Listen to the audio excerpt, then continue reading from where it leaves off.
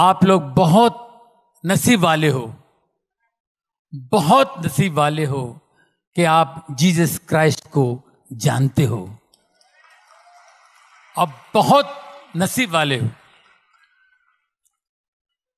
बहुत से लोग हैं क्रिश्चियन में। क्रिश्चियन होकर के भी जीसस क्राइस्ट को नहीं जानते। हैं अपनी अकल पर, बुद्धि पर घमंड ना कर।